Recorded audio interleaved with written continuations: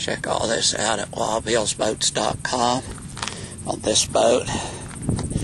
Like I told you, it's very clean, very nice. Not even hardly any scratches on it. Maybe a scratch mark here and there, which you would expect on any boat. No matter what you buy, this is really nice. Past Alumna or Xpress warranty. You'll pass the well warranty for Xpress if you put an extra warranty on it. It's not needed if you wanted to. All the gauges everything on the boat work. Very slick. Very nice little boat.